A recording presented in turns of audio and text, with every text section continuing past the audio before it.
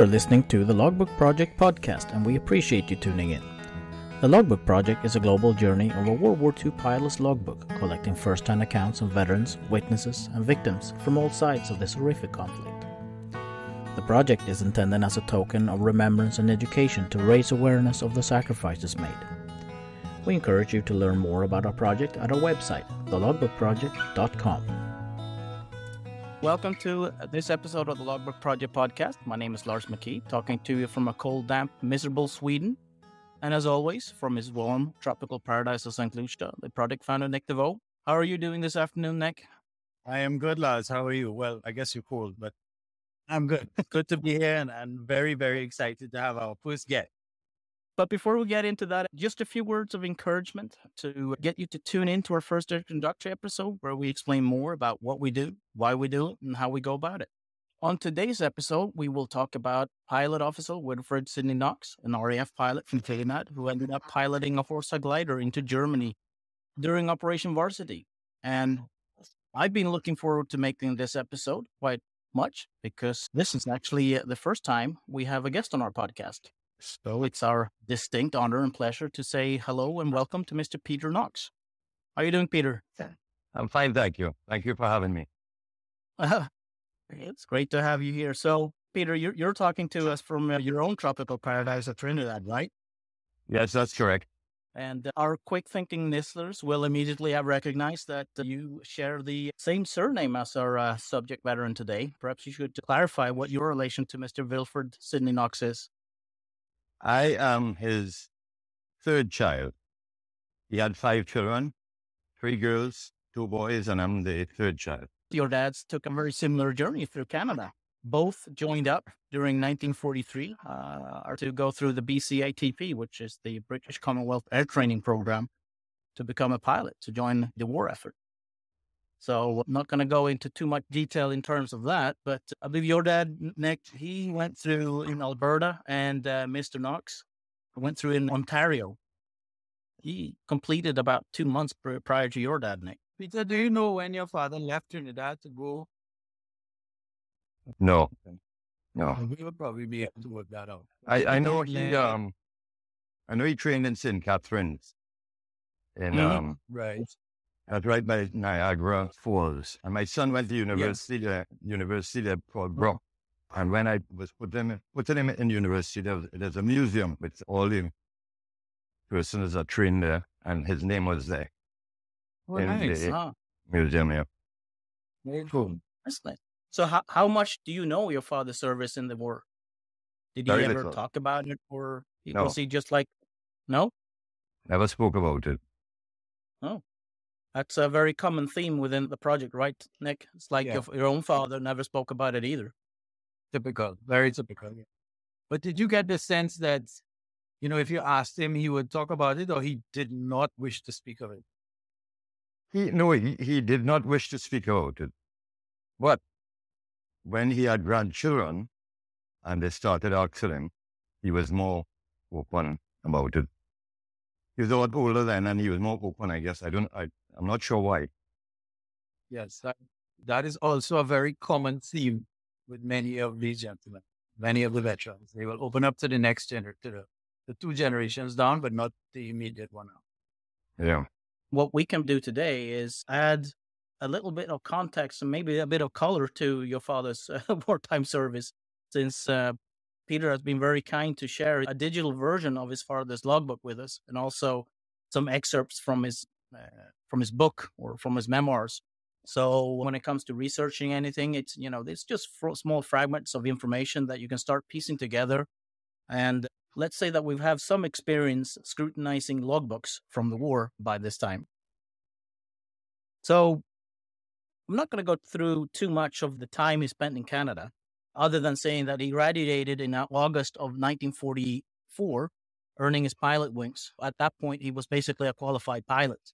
Then went over to the UK, and I think this is probably where you also know quite a bit about Peter. He went over to UK and ended up uh, piloting a Horsa glider into a combat zone in Germany in Operation Varsity. Yeah. And that that's probably what you have as well, right? Yeah. Yeah. I well, I know he trained on the uh, Hurricane, and Oh, he he was waiting to go into combat, and then this well, he said this guy, this officer came in a mess one day and asked for, for volunteers. He didn't know what it was for, and he volunteered. You know, so that, that's, that's about it. yeah. I'm I'm chuckling a little bit because uh, I, I've looked into that a little bit more, and it's an air marshal that came in to looking for volunteers to transition to become a glider pilot.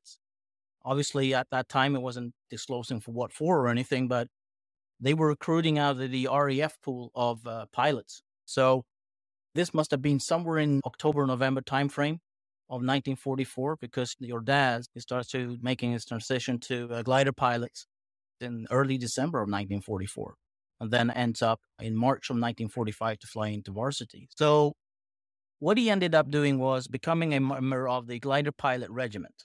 And the glider pilot regiment was formed up in 1942 and it was under the British Army Air Corps, and their responsibility was to crew the British Army's gliders in airborne operations, right? So the GPR or the glider pilot regiment, they pretty much drew their own recruits out of the regular army units. It was all on a volunteer basis. And the recruit was then put through some military and RAF air crew uh, selection process. And when they were deemed as an acceptable recruit, they were then put through some rigorous training to be a glider pilot. But they were also put through some infantry training to become what they were termed as a total soldier. Now, the total soldier concept was basically the thing was, at least in the British units, uh, I don't know exactly how it worked on the US side, but in the British side, the glider pilots they were expected to pick up arms and participate in combat alongside the soldiers that they carried into battle. So all glider pilots were really taught on all the weapon systems and all the equipment that they could carry into battle. Then obviously to fight alongside the soldiers that they carried in there. So these were pretty I, I'd say that they were probably more infantrymen made into glider pilots rather than pilots made into infantrymen. So this is also interesting now to see the recruitment of your father. In his memoirs, he explained how this air marshal comes in asking for recruits, and an air marshal was a very high-ranking RAF officer. Comes in asking for recruits, and your father, he says he was just tired of sitting around doing nothing, so he volunteered. Now, it's kind of important to understand now also why this air marshal was there to recruit. This was because of Operation Market Garden, the high risk, high reward gamble to get across the Rhine to establish a bridgehead into Germany to push on towards Berlin, of course. It didn't pay off, it failed. And zooming in, I'm not going to enter into too much detail. I'm just going to look at the glider pilot regiment. So, what happened was that the glider pilot regiment, they landed around Arnhem. And the Battle of Arnhem, the glider pilot regiment sustained over 90% casualties. 90%. Either in killed, wounded, or captured. So I won't say that the glider pilot was wiped out because they had a lot of pilots still, you know, back in the UK, but 90% of what they actually fielded in Operation Market Garden, they lost. So this is really why they were now out. If they're going to have any chance to do any more operations in airborne landings, they needed to recruit new pilots. And obviously, the RAF at that time had a lot of pilots sitting around doing nothing because the air war in Europe towards the end of 1944, it wasn't the meat grinder it used to be. So they had a lot of pilots sitting around being available. And that's why they were out there recruiting, asking for volunteers to transition to gliders. And that's what your father ended up doing. Um, I'm sure he would have understood and heard the stories of the survivability of a, a glider pilot at the time of recruiting. As far as I know, he, he did not know he was being recruited for gliders at the time. All right. He did not know what he was being recruited for. They never they never said they never said it was gliders. He learned that after. So, Yeah. So, Peter, at the point where he did understand what it was he was signed up for, I mean, did he I don't know. Was there any recourse? Could he could he say, "Well, hello, I didn't know," or I mean, did he ever express? no, that? no, no. No, he um he said he quite enjoyed the training, the glider training. He said it was very primitive, the cockpit.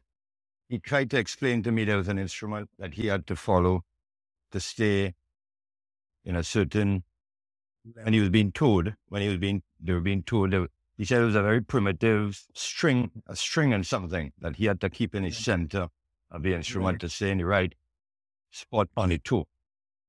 Um Right. he Yeah. said he said, but he enjoyed the glide, um, glider training, um, and um, Well, my God. and he knew he knew the fatality rate was high. He knew that, and he said that um, I don't know if it was a sergeant, whoever was in charge of the troops on board, they made a deal in advance that if if he got them safely to the landing zone, he would look after him. The sergeant, I think it's a sergeant, would look, look after him. Right. you know. So that that deal was made in advance. I I, I don't know. That's what he said because I, I don't think he ever shot. he- I don't think he ever shot a gun. Really, I mean, he, he wasn't interested in shooting anybody. Th- There's actually a funny, well, funny in the sense of it, but I can see in his logbook, I believe it was the 14th of February, 1945, in, in one of the training missions. Uh, I believe it's the uh, training for on Hamilcars. I can't remember now, but anyway, the funny thing was that he was the first pilot, and his second pilot or the co-pilot was a Sergeant Knox. So you had a pilot officer Knox in the left seat, and then you had a Sergeant Knox in the right seat. I found that Oh. funny because both of them were actually named Sydney. So that must have been a kind of humoristic day. It was just training. And I have not been able to establish the other Sydney Knox, but I, I believe uh, that Miss might actually be one of the Arnhem uh, survivors because there is a Sydney Knox that landed, participated in the Battle of Arnhem, but then managed to swim the Rhine back into Allied country and, and survive that way. So it could be him. I don't know, but it, it looks so. But that kind of knocks you out. Yeah, I didn't know that. Yeah. I know he spoke about his co-pilot quite a bit um, over the years. I think it was uh, Ser- Sergeant Fruin, Fruin, Yeah, something. Fruin. Yeah, Yeah. I'm not sure whatever happened to him. I tried to look and I can't trace him. I can't find him anywhere, but they they flew quite a bit together during training, so they must have been kind of teaming up early, and then making a team, uh, a pilot and co-pilot team out of them because they flew quite a bit during the training and all the build up, and then also in Operation Varsity. And Yeah, uh, your father friends, also speaks of him in his memoirs. Uh, but I'm not sure. He, I think he died soon after the war or something. I'm not sure because well, I never heard about him again. I'll I'll try and, and dig something up. Would be interesting. I that's I love doing these things. Understatement of the year. La- Lance, how many hours did Mr. Knox train in gliders? Uh How long was his you know what? I don't know. He has over 300 hours total. I believe he came to the UK with about I have to look. I don't know actually. Yeah. But he, he went through quite a bit. I mean, he started with a glider training school in in 1st of December on Hotspurs 2s. Then he proceeded to the 23 HGCU, which was Heavy Glider Conversion Unit, the 13th of uh, December. So he was flying gliders quite a bit prior to Operation Varsity. Yeah, I was surprised when I saw it, read the logbook how much um, flying he did. Yeah, I Yeah. thought it was a quick. I thought it was a quick conversion, but clearly I was mistaken. I think they said it was a should have been a six week conversion, something like that. But he certainly flew. I mean, the conversion itself to gliders in order to operate it, that's probably. I mean, for a qualified pilot, it shouldn't take that long. To be honest, it's uh, as a pilot, you you would have done numerous dead stick landings, which is basically a power off landing in your normal airplane. So gliding would not, not have been something strange or new to them. So, but then again, piloting a glider loaded with soldiers and jeeps and stuff. That, that's probably another thing. I have a lot of uncles. My father's brothers and all their cousins were in the war. Most of them were pilots. Quite, two of them was quite highly decorated.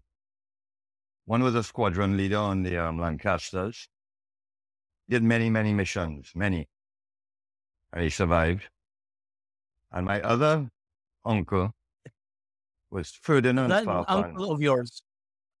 These are these are my uncles. Yeah, Ferdinand Farfan. He was a Spitfire squadron leader. He was actually shot down behind enemy lines in um, Sicily, and then he made it back to Malta, and then he then he got shot down again. But he had many many kills on Spitfires. Did you know this, Nick? Yes, I did. I did know that. There was one gentleman who died within the last two years. Um, As Esmond, Esmond. He was with La- Lancasters. He wrote a book um, on it. right. He actually had a, a wrote a diary then during the entire war, and he wrote a book on it. But he, he had many many missions. Yeah, I don't want to I don't want to sidetrack this. Um, No, no, no, no, go go ahead. ahead. It's all, No, no, it's go ahead. in- but, Well, he, I have his book, and I, I knew him well. He used to, he used to speak about the war. In fact, both of them spoke about the war, a. Yeah. and both of them became commercial pilots after the war. My father also was waiting to become a commercial pilot, and the, um, and eventually he went into business, which was probably the better thing for him. yes. But the, my sure. other two uncles were commercial pilots their entire life. But Esmond, apparently, I mean, he had numerous missions there. And he bombed a village in France, which turned out to be the wrong village, and he killed a lot of people, innocent people. And he went to the village after the war, many years after, like 10, 20 years off, and um, apologized to all the families that he had uh, killed. yeah. He actually paid them comp- compensation for the damage he had done. Wow. Yeah. That's uh, Crazy. talk about an attempt to recon- reconcile. I mean, to to do that is that must have been haunting. I mean, for twenty years and then to go do that. That's Yeah. that's a strong mind to do that. A very courageous thing to do. Yeah.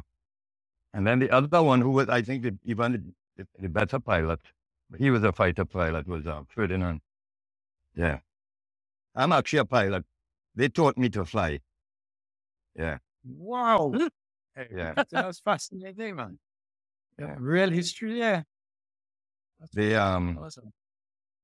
Both of them, even when they retired from commercial, being commercial pilots, they had their own airplanes also they, to fly for fun. They were actually also successful businessmen. And um, Ferdinand had a flying school, and he taught many, many people to fly. nice. Do you still fly? no, I'm retired. I'm retired. I still, I- I still fly for fun, but not. I'm, I'm a retired pilot. I realize that. That's, that's a hell of a legacy you come from then. Wow. I, I, I have- many, um, many uncles that, that were pilots anymore. Quite a few didn't survive. My father had a, bro- had a brother that didn't survive. That seems to be a very common theme out of the, the Caribbean with your young men joining the RAF. At some point, we need to do some mathematics or to try and figure out how many, in terms of numbers, work out a percentage. Because I believe it was a very high percentage of, of a headcount contribution from a percentage point of view. Oh yeah, a lot of them. There were, there are a lot of um. They, they made a big contribution. I could actually send you one of his books if you want. Um, you might be Would interested in reading it. Yeah, and it's, it's really only about the war. His book. They they spoke a lot about the war. Those my those two uncles, which was unusual. Well, Well, they had a lot And- to speak about. yeah, So I guess you understand now, Peter. I did not realize just how dangerous all this training was. And so for your father to to do all of that glider training as long as he did, and as you say, it was very primitive. Um, I just have a whole new respect for what these men did. You know, even with, without the combat, just just to survive and get through all of it was. um, yeah. I, I'm I'm And- still in awe of it. Really. And that was just the flying part of it. Mr. Knox participated in some heavy heavy combat on the ground in Germany too. Uh, Yeah. I I've I've looked at that a little bit closer, and he mentions it in his memoirs or in his book, but I don't think he's fully recounting the severity of the combat that was actually taking place. Operation Varsity. This was a very large airborne landing. It was about seventeen thousand men out of two divisions. It was the Seventeenth Airborne Division, which was the Americans, and then was the Sixth Airborne Division, which was the British. Uh, I can't go through the whole thing in Operation Varsity, but zooming in now to look at what, you know, in relation to your dad, Peter, he was posted to F Squadron Glider Pilot Regiment. F Squadron took and flew elements out of the uh, 1st Battalion Royal Ulster Rifles into combat. And I know this because of Mr. Knox's memoirs, where he says that he flew a Horsa glider with a Jeep and six soldiers from an Irish regiment called the Royal Ulster Rifles.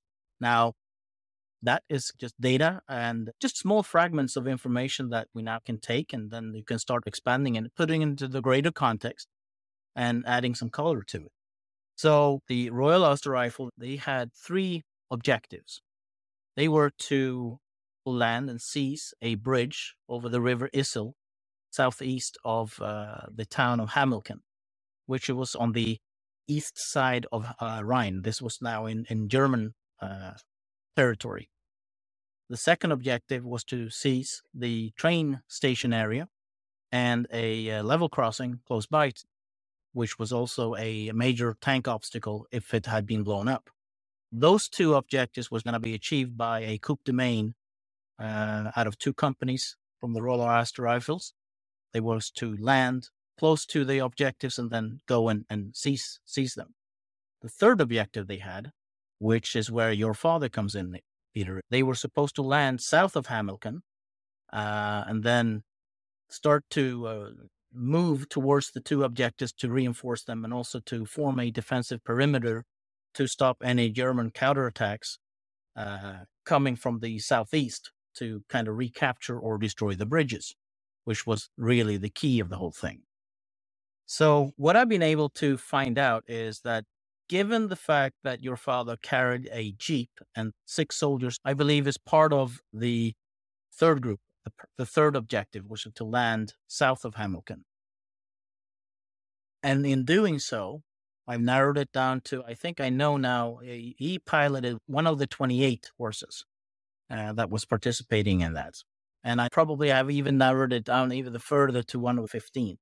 But uh, I'll try and see if I can actually find out the number, which Horsa glider he piloted and where it landed, because all that is actually out there in terms of details to to see. The bridge that they were supposed to see, it's still there.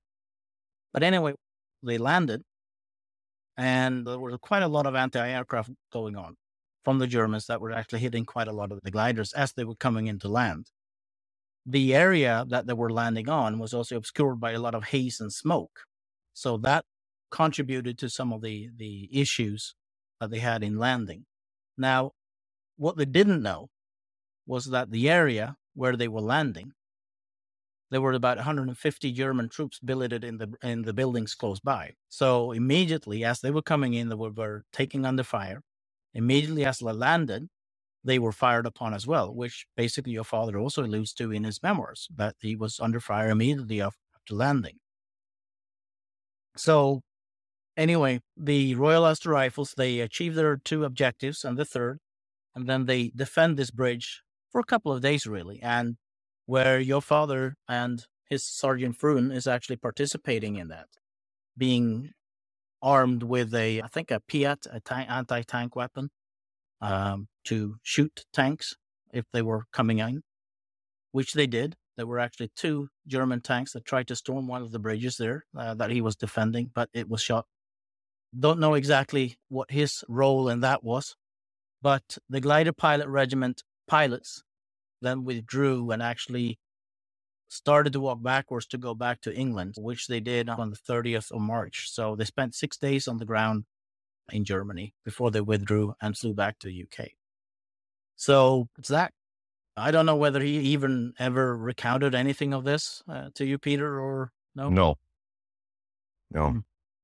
Nothing at all. It was more, probably more battle, more combat than than he would have liked to see.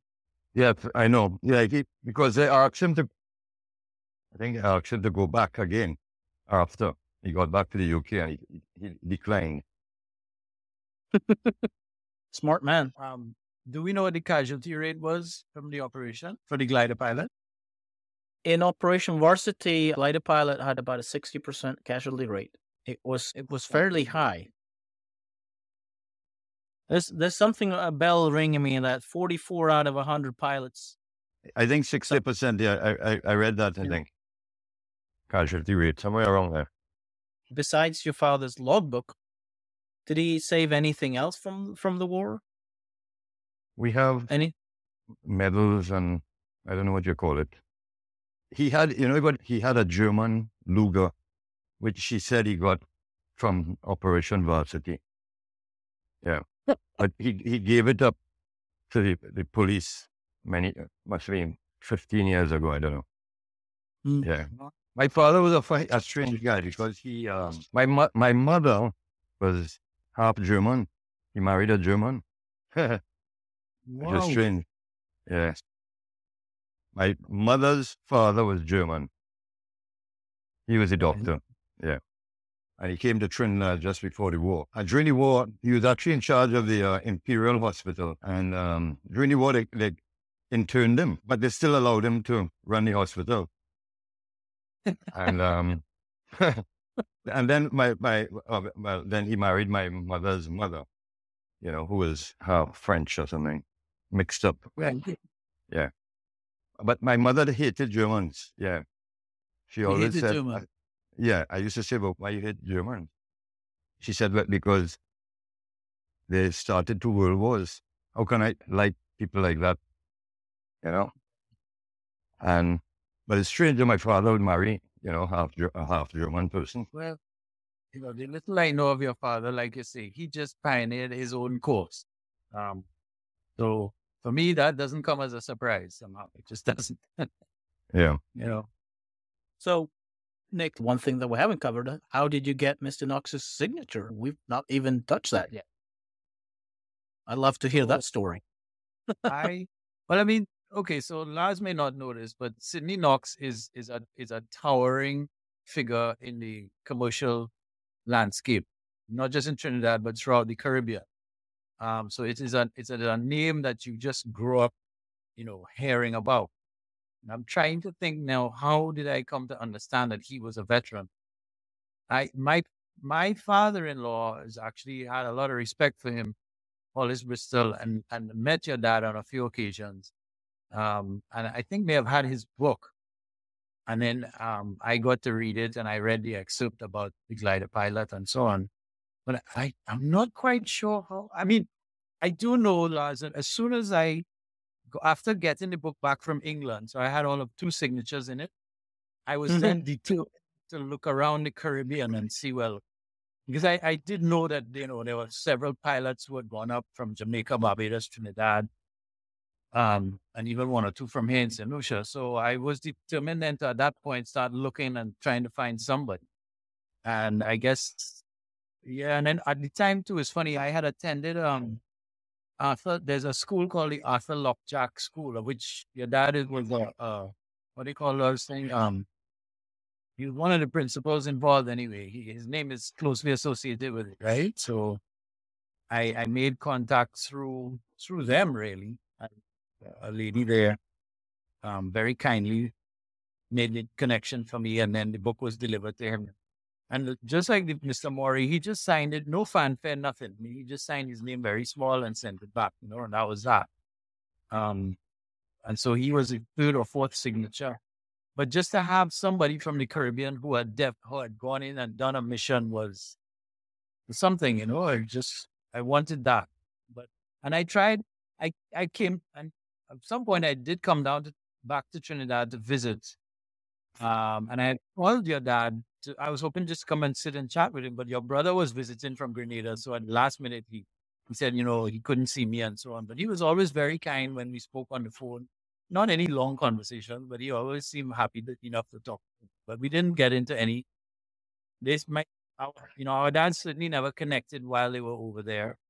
Um, and so they didn't, they just ran very parallel courses through Canada and then into England, like you say. And my father, the one story he told me, and now this was the only story, was that yes, they were also looking for volunteers for this glider mission, and he declined. He was smart enough to decline because honestly, I think it just took a special human being to get into that glider and do what your dad did. It was, and the same thing too. He said, then after we landed, we had to find our own way back, and that didn't interest him.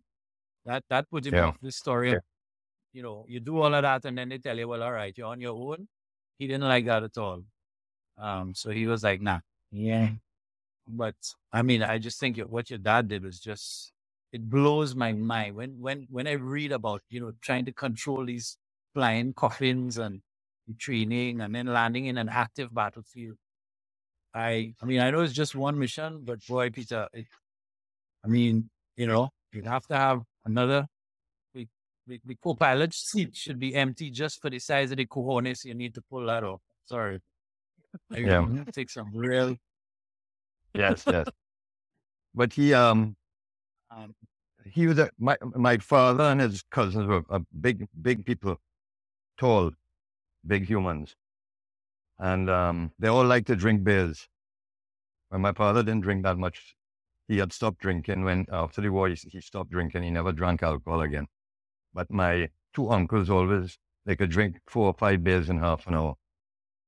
And the funny thing is, during the war, they never drank any alcohol at all until the war was over. No, they it's to- funny you say that. to- One one of the things I understood was that the, the manufacturers at VAT 19 would send bottles of rum Yes. to them every so They often. would- They would send cases of rum once a month for the West Indians right. in, in the UK. Yeah. And uh, well, you you have to wonder how much of that actually found the intended recipient, but also they probably would use it to barter for cigarettes and things. What? Yes. Yes. Yeah, but it, it used to go to a particular pub.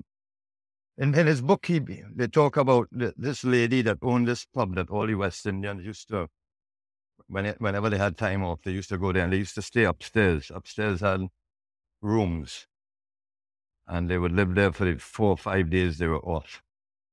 But all the alcohol from Angostura would be sent there, and they, they all speak of this lady highly. Um, that she did a lot for them, you know. So and and I, I also read a story about somebody falling out of a window. Is dead. Yes, yes, his cousin, his um, a friend of his, yeah. That, that, Yeah. that seemed to have traumatized him quite a bit. Of course, it would. yeah, yeah, it was a, a freak, a freak accident, Yeah. and then he had to, he had to tell the, the mother or the father what happened. Yeah. Yeah, Wow. That was rough. Yes. So, uh, Peter, do you know if your dad, after he got his wings, to probably what you said last around August? 44? August 44th, yes. Yeah. Did, do you know, Peter, if he came to Trinidad before then deploying over to the no, no, he went straight from Canada. He went straight. Yeah. Because because my dad definitely came to St. Lucia after getting his wings, and he got his wings in October. And then, and that's a big part of uh, his journey that we are missing is how long then did it take to, for him to arrive back in England? Right. Um, Yeah. But and and like Lars said, that made a huge difference in terms of, you know, how close or far you you stayed from combat. But by then there was definitely a glut of pilots, and like your dad talks about just being bored. So um, again, you know, it's fascinating. It's, it's so the margins of who lived and who died was so thin, um, and the difference of a couple Pure of luck. weeks. It really are you? I I looked at um I started looking at the Masters of the Air series last night. Have you seen that? No, a friend. Funny you, you brought it up. A friend of mine told me about it yesterday. Yeah, yeah, it's it's, quite good.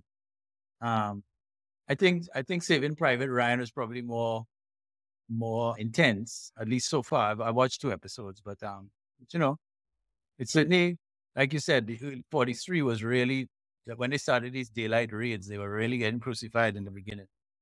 So Yeah. um, it's more to see in. But yes, Peter, do you you must know the Hamel-Smiths? Um, do you Yes. know the Murrays? Yes. Yeah. So so again, Well, I know um, David David Murray.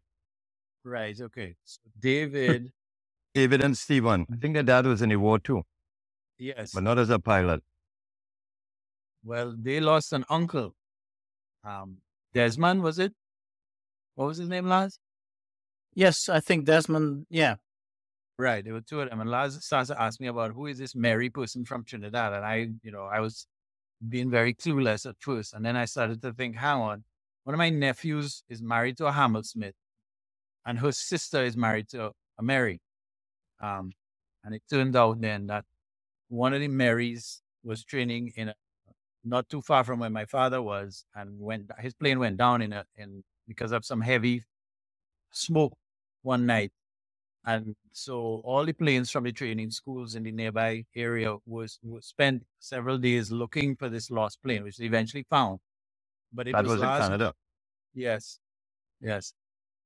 And so it was, but it was Lars who pointed out this out in my father's logbook because all of a sudden they, there was three consecutive days of, of, su- of, yeah. Search and What was it, rescue. Lars? Se- Basically, yeah. He he recorded them as a, a standard search, which just stood out. Yeah. Three flights stood out from everything else that he was doing. So I started to look in some of the diaries for the the specific air station or the aerodromes, just you know the operation diaries to see what was going on. And obviously, it was part of uh, a search for a missing uh, airspeed Oxford plane from another school nearby, number th- 36 Penhold.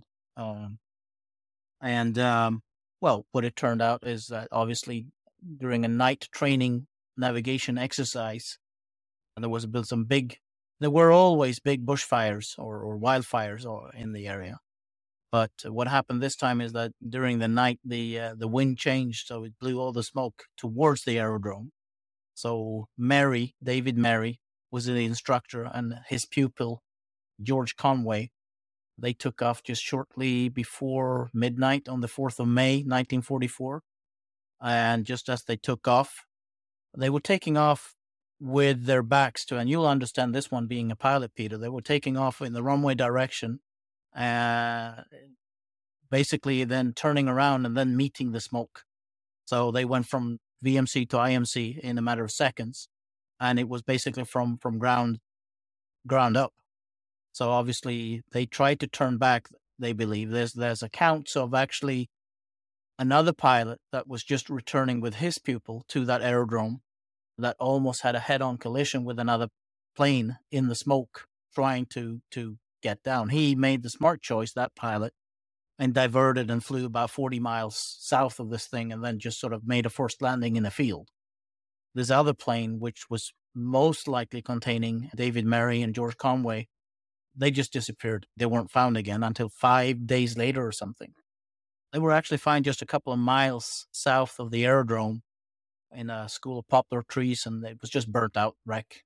know, Lars even got them to go and make a little um a little memorial to the guy, and it was, Uh-huh. quite amazing. Yeah, he did all of that, and he had a flyover.